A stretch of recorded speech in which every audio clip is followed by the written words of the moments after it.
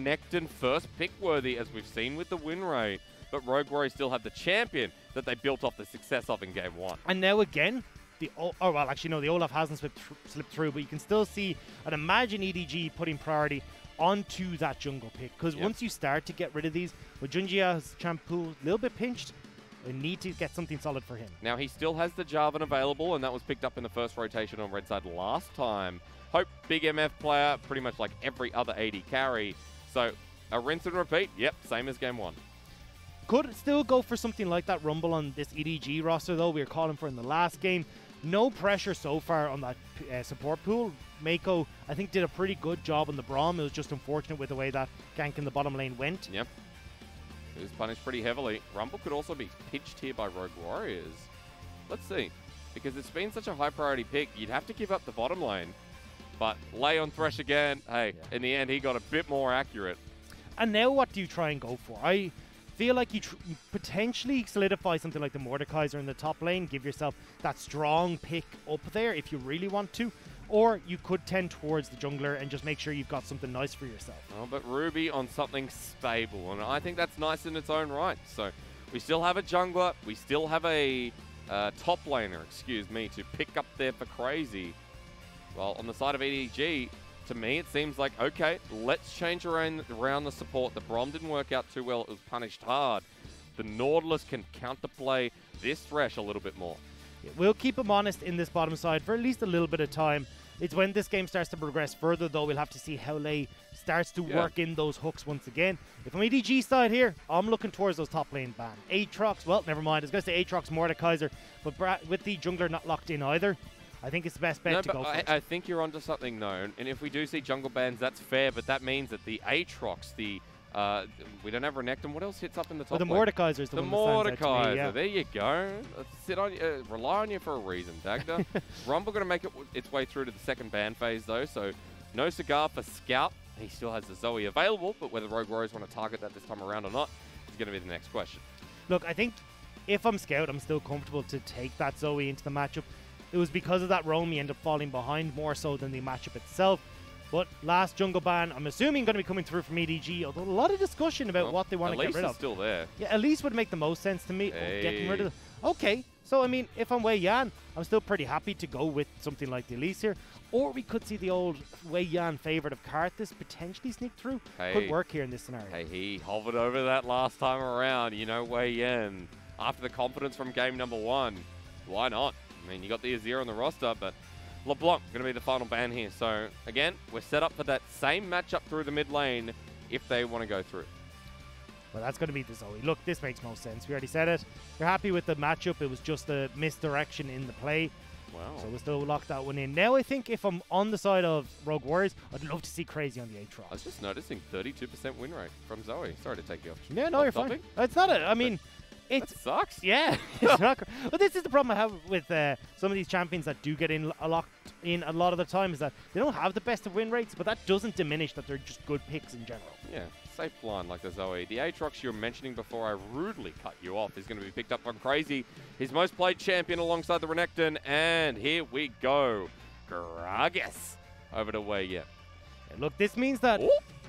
okay, Okay, forget the Gragas. Now Yeah. you walk me through this because the only person who constantly picked Fiora in the LPL is no longer playing in the LPL currently, and that's Khan. So Xiao Xiang, the debut competitive split in his career, not just LPL, in his career, is like, I can play Fiora. So I was glancing at his stats earlier on today from his career.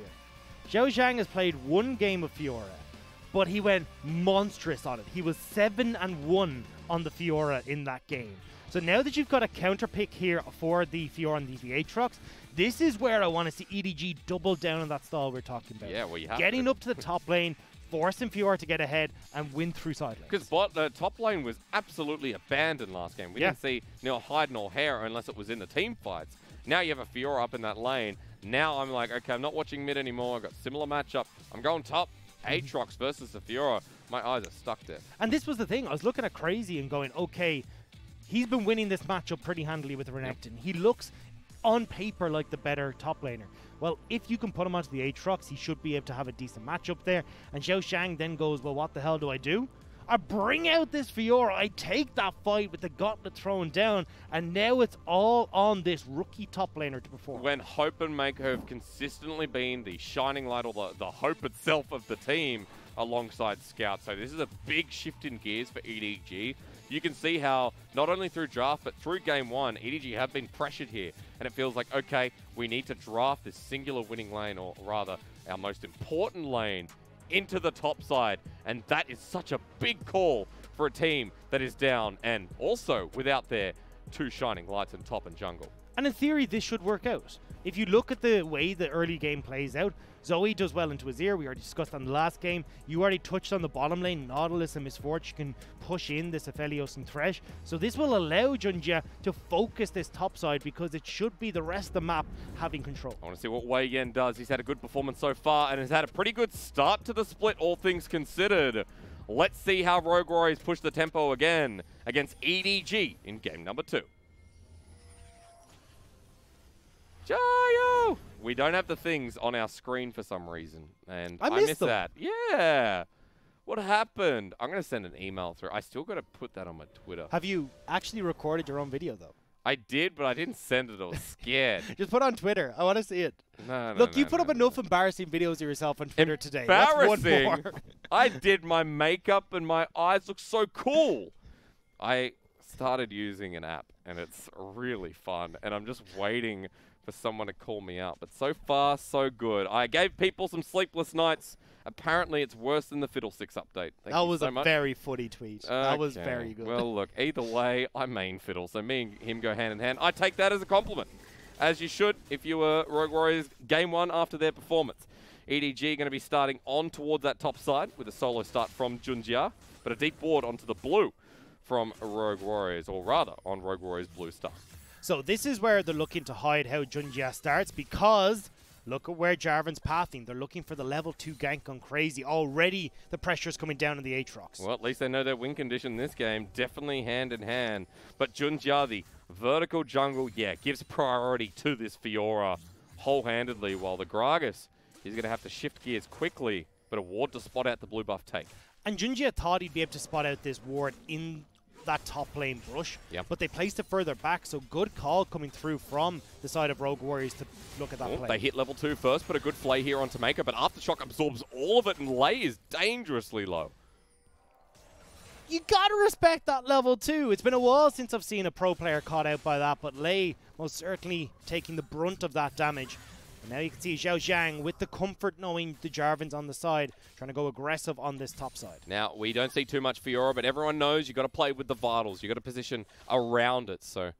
uh, it's about how crazy matches these trades. So the reason that this is considered a counter matchup is because you can dash around from the Darkin Blade procs, and as well you get so much of that healing back yourself, hitting Yeah. off with all those procs.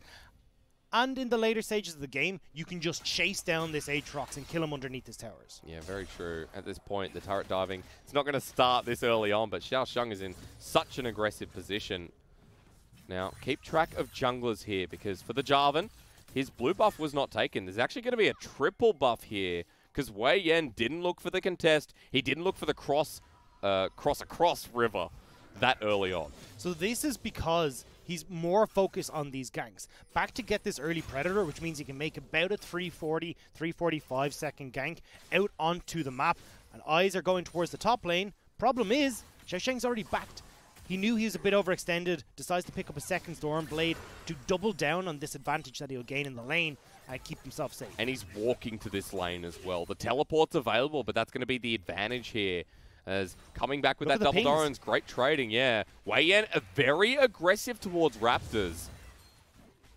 But Scout going to go in. He has a smite, gets the trouble bubble over the wall, but Xiao Xiang is here, and it's Fiora. If she gets a kill here, this is going to be dangerous. Wei Yan in a really difficult position, gets the barrel roll, but now three members on top of him. As are you going to flash? Are you going to body slam? No, you're going to give first blood to the win condition of EDG. And the EDG game plan has part A underway. Gives that kill over towards the Fiora, so Xiao Xiang will now be in the lead. Doesn't even have to worry about that lane because it's slow pushing into him. Should be able to freeze this here and look to keep himself in good shape. And this is not the jungle start that we saw from Wei Yan last time with intelligent pathing, reading Junjia this time around spotted on multiple wards, gets triple buffed against the Jarvan. And this is where I was looking towards the IG series and going, look, is this Wei Yan playing fantastically?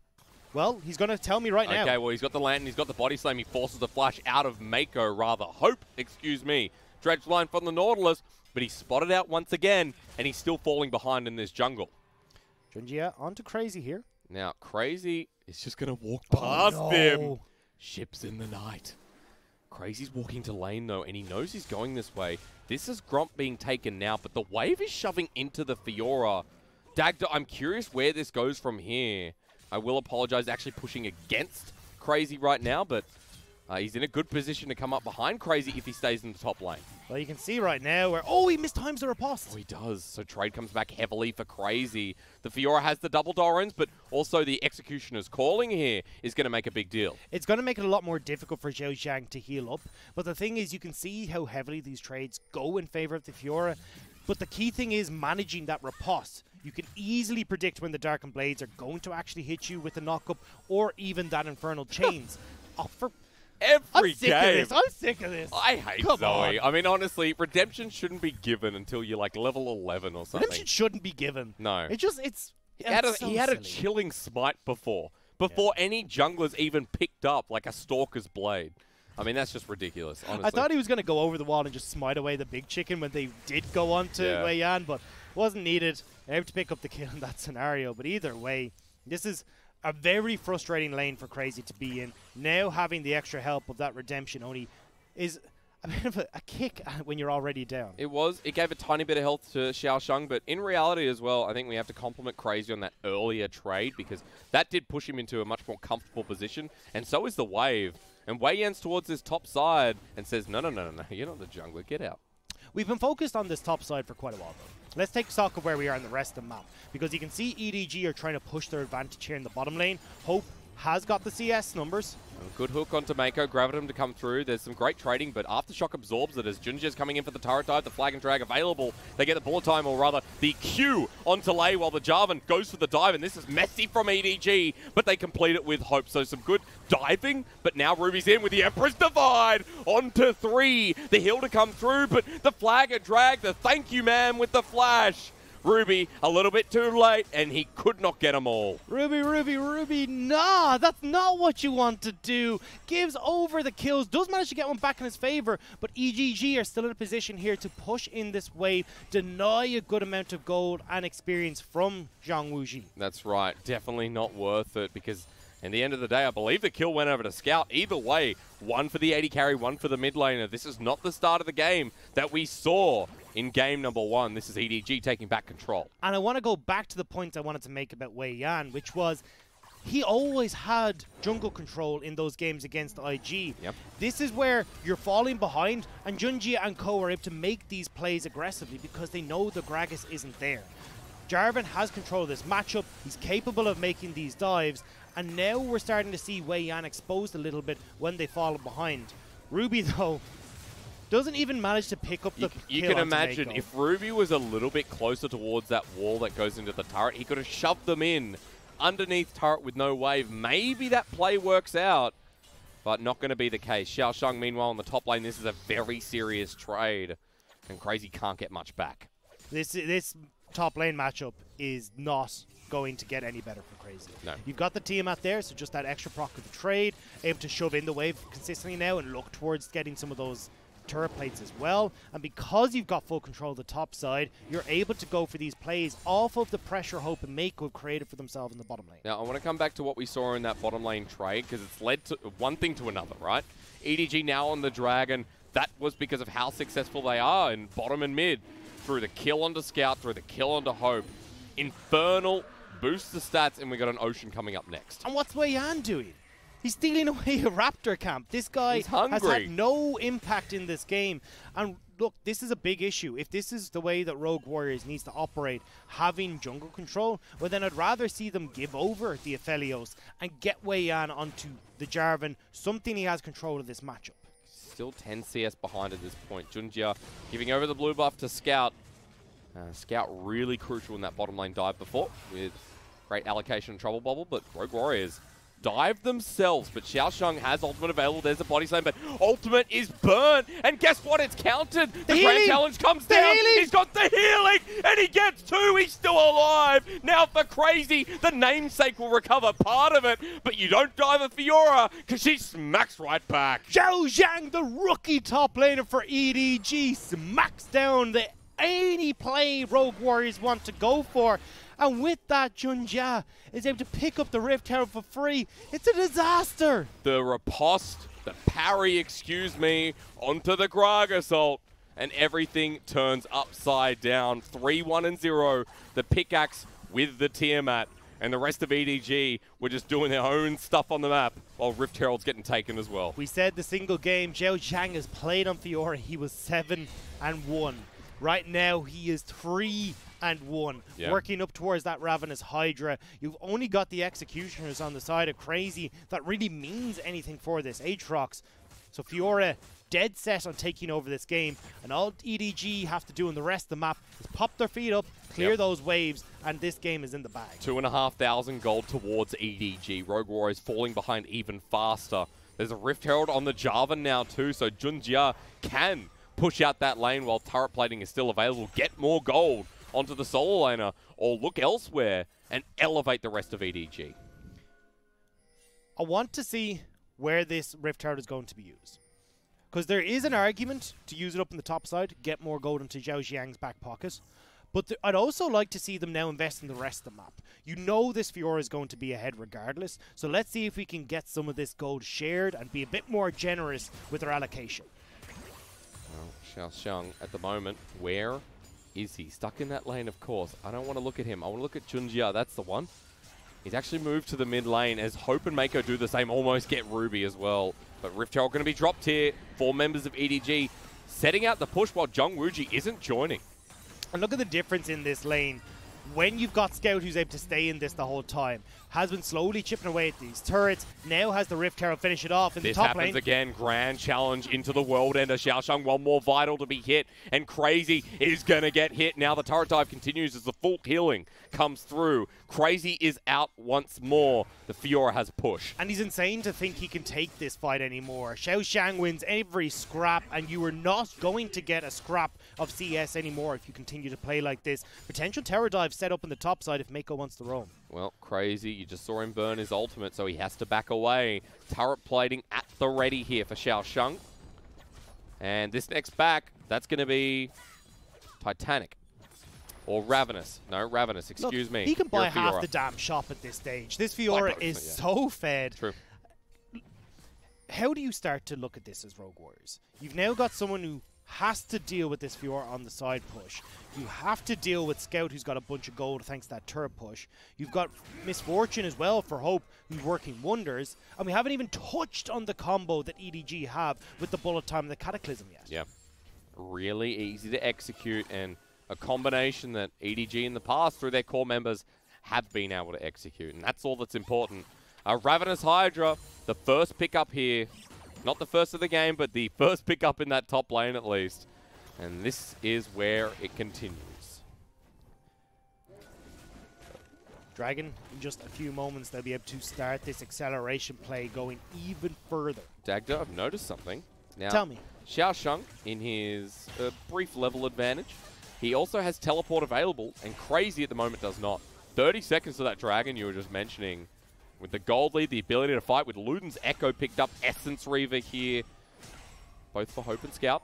They're ready. So there's two ways you can play this teleport advantage. You can actually have Xiao Xiang push in this wave and just walk down, then teleport back up if Crazy tries to answer, you mm. get the top lane turret. Or they can try and bait Rogue Warriors into utilizing all their CC early on, which means by the time Xiao Xiang teleports in, he can heavily win out in these fights and have free reign as Fiora in the scrap. Because either way you look at it, both options kind of seem bad for Rogue, Rogue Warriors. Warriors, yeah. It's not great. well, Wei Yan is towards his top side, so to me it seems like they're going to abandon Dragon for the ability to try and put Fiora behind, but Xiao Xiang pays respect. It's bot lane that they got to be careful of though, because if you're putting all this pressure topside. Well, if Elios can't hold onto this tower, mm. Ley has started to roam up, so they get the dragon, they get the bottom lane turret, and Xiao Xiang's got his thinking cap on because he's backed off. Yeah, all the way off towards red buff. Pings are going down. EDG are, are not going to play this mistake. And instead, you just get the Krugs and you wait for the wave to come in. I actually think if it's only two, he could probably 1v2. But I don't think it's going to be two. Ruby's on the way. Ley is now the man holding down mid lane. Never thought a support would be able to go that far, but Meiko is here to back things up. Well, walks on in. The control ward going to be crucial here. Ability to clear it out, but they're really looking for opportunities through this top lane and still pathing towards the top side. Now going mid. Well, let's just 1v1 with the bullet time almost coming through. Hope's going to get flayed in and looks for the 1v2. The flash away from the death sentence. He now turns his damage and attention. Wuji, one He's more hit. him. He gets it, the ignite, and gets two, but that's going to be golden until Ley. Get ready. It's G'day from Hope in the bottom lane. They've always got hope hysterics and they have crushed any hope that Rogue Warriors had of picking up a win in game number two. Fiora's fed, Hope is 1v2ing, and the rest of EDG have the map. Doesn't matter. Xiao Xiang starts with the 1v3 under turret, and now the 1v2 bot, Oh, and now no. the solo kill of the top lane. Jarvan flashes in, Cataclysm's down. Crazy's going to get a bit of healing. And even though Junjia will, no, not die there. Xiao Xiang's a bro. Even gets the healing to survive. EDG are playing so much better. Wei Yan has the cast though. Yeah, And he flashes on in. He gets one. The explosive cast brings back the Jarvan. Good capitalization here from Wei Yan. Big shutdown onto the Fiora too. They needed something. Delighted Wei Yan could have some play in this game to turn it anything back in the favor of Rogue Warriors. EDG, though, are still in control of this game, unless Rogue Warriors could turn on towards this Rift Herald as it spawns. Looks like that's the play. Yeah, massive, massive hit from the Gragas, though, just to come back. Now, if they take Rift Herald here, get some gold in Ruby's pockets. He's got the Nashes. That could evolve to something else. We've also got the first item wanting here for Zhang Wuji, but even though EDG aren't in the area, it's going to take more than that. There's still a 5k gold lead from EDG at 16 minutes. But at least Rogue Warriors, they're, they're not out of this yet. Well, let's take stock of where we're at because it's all been a bit hectic and we actually haven't looked at where people are. We've got Essence Reaver and the BF sword picked up for Hope after that fantastic play in the bottom lane. Yep. Luden's Echo coming in from the Zoe. And on the top side, that Black Cleaver is very much underway for Xiao Xiang. So crucial items are starting to come together and EDG are going to hit like a truck off these two items. Actually, I take that back. It's probably not the Black Cleaver. It's more likely the Triforce. Yeah, Xiao I was, I was just thinking, I'm like, well, at this position, Trinity Force Look, just I've been so much better. I've been watching Aatroxes and sets and all these for too long. I've seen too many black. Well, even- as well, doesn't, doesn't LS well. advocate for Trinity Force Aatrox? I believe he does. He does. He And does. look- and I've tried it on ARAM, Yeah. and it feels good.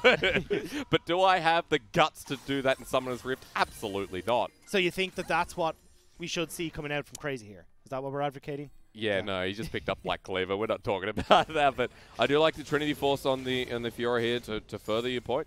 But also, remember, at this point, when he does pick up that Trinity Force, he will be pretty much an item ahead of Crazy. He's already a level ahead. He's starting to build up CS, and to Crazy's credit, he's kept up in this really harsh lane. But I wonder how much longer that goes on as depth, Oh, the hook. depth charge is available, doesn't use it as Golden from way in. He blocks, still has that ultimate available. Meiko uses it, and here comes the bullet time as Scout comes in with the burst. Crazy now goes, oh no, that's my lane opponent. Get out of there. And the fight is done. I blinked and I missed it. Everyone disintegrated in front Oh, of our eyes. now the Ruby's turret's dead. gone. The Fiora just snuck behind and killed the Azir with one flick of the wrist. That is insane. EDG are snowballing this game so hard that they're coming back and saying, Rogue Warriors, last game was a fluke. We're here to play ball. This is what I expected EDG to be in this form. And whether it took a game or whether Rogue Warriors have just been shut out so hard this game. I mean, there's so much to dissect from this series already. But at 18 minutes, one thing I know for sure is that when we get into this mid game, we're not going to slow down. The fighting's going to continue. I expect an all out brawl in the next five minutes. and we potentially get another one of these. This is only game number two. This is a best of so. three series. And with a minute left before this Baron spawns, EDG will be looking to put Fiora the bottom side, put pressure onto that inhibitor turret in the bottom lane to secure the big objective. We've got a mountain coming up in 15 seconds as well, but look at this. XiaoXiang used his abilities, sorry, summoners, in the last kill onto Ruby, and even though Wei Yan is here, does he want to go back in? He's going to get cornered in the second lay with the death sentence that lands. Over The with the ultimate, but the riposte, you're right. The grand challenge onto Ruby. XiaoXiang could turn this, but the explosive cast says, yeah, you go. We don't want to kill you anyway. Pops them away. There's no drinking today. Paddy's Day is cancelled for every. Oh, no, well, it's actually, not. maybe No, it's not. not. No, We're it's coming not. back. Rift Herald's going to come through. They want to get the turret. The death sentence weird from Ley. He's tanking. Almost dies to it. Now that Rift Herald's here, though, they have a minion. Mid lane, though. Into the back. The riposte still there. They kill him, and you're right. Meanwhile, EDG say, that's fine. We hit mid. We'll get the back through though. They haven't fully committed for any of these towers, so might get back before that wave crashes. Rogue Warriors have made the play, but it's a tier one for a tier two. Yeah. And Scout might even get. Okay. Yeah. He's going to get this no matter what. yeah. So, backs away. Yeah. Portal jump not capitalized. Rift Herald gets another charge up in that top lane. And again, small props where it's due here to Rogue Warriors who have been really punishing this Fiora lane. Watch But- what happens in this spot now. Okay. Because you've got tier two in the bottom lane down. That opens up that inhib turret now for this Fiora. So even though she's been punished by multiple people, you see it's taken three to four people to take her down. Xiao Xiang has free roam on this bottom side, will only have Crazy to try and take care of him because they need to fight at this Baron. But I do like the decision making here from the top lane Fiora. Instead goes to the top side once again because doesn't have that teleport available. Baron's up. And the Mountain Dragon, as you saw before, was taken by EDG in that trade. So I don't even know if it matters now. I think I think Xiao Xiang's so far ahead that if they go for the Baron, concede it, you just take the inhibs. You can just work with it. And even then, what do EDG get off of that play? All they have is one outer turret down. Well, cool. We'll sacrifice an outer turret for your inhib. Yeah, good point. Everything looking up. Vision control here from RW at least around that Baron pit. And EDG are walking in. It's time to clear. While the Fiora gets a shove in the top lane and is still hanging around, lurking and waiting for EDG to find something in this enemy jungle. They try to see if they can catch on to Ruby. Will safely make it back. But this is where you got to be careful. It's only Azir who's hovering around here. Ley might get spotted. The Scout's in the bottom lane, but he has teleport. Run away, they say. Hope uses the heal to give the movement speed bonus. Crazy. Uses the World Ender as well, but Wei Yan in a crucial position. The explosive cast sends back the Jarvan, but that's the second time around that his ultimate has done nothing. They were trying to get the pick before Xiao Xiang could set up on either of these side lanes. Not going to come out. Now you've lost the cask for potentially a Baron fight. You also keep your eyes towards the 2 minute and 40 mark where we will have that Mountain Dragon spawning. And we also have a Trinity Force available now for Xiao Xiang. So there's the two items that we're speaking about for a while. Crazy still on the Caulfield's Warhammer. So nowhere near the Death's Dance that could compete and outplay this Fiora. So we got to look at when exactly do Rogue Warriors come into their own in this game. Because when we look at the compositions, yes, we've got Fiora, will always win out on this side lane, but the rest of Rogue Warriors will eventually scale. So if we're holding off on these scenarios till you know 35 minutes or so, Ruby and Zhang Wuji will be able to win the 4v4. But how far away is that when Xiao Xiang is chasing Crazy down at Grand the moment? challenge is available. Let's see it. The flash away. He doesn't have it to follow up, but he has the movement speed. Jumps into the turret. There's the world ender, but it's way too late. The healing to come through. The solo kill. And Zhang Wuji says, I can help, but EDG say we can do the Baron while this is going on. Because Zhang Wuji showed they know there's no AD carry, they can burst. They don't want to. They see look- Ruby in the mid lane. fair actually. When I look at the comp that they have, Zoe and Miss Fortune don't really do a huge amount to this Baron, but it will allow Xiao Xiang the time to go towards Ultimate bot. immediately. There's the Emperor's Divide. The depth charge with the flash. Ruby will get knocked up away from the land. Cataclysm is there as well. Good death sentence with the box. They flay him back, but Junjia has the stone plate. Heals up, but not in time. And the bullet time just sends them outward. XiaoXiang will be pushing this bottom lane inhibitor turret, but Rogue Warriors are still fighting back. They did get the kill onto Junjia, who goes a little bit too far forward without hope or scout to give him the damage he needs to finish people off. Doesn't matter though.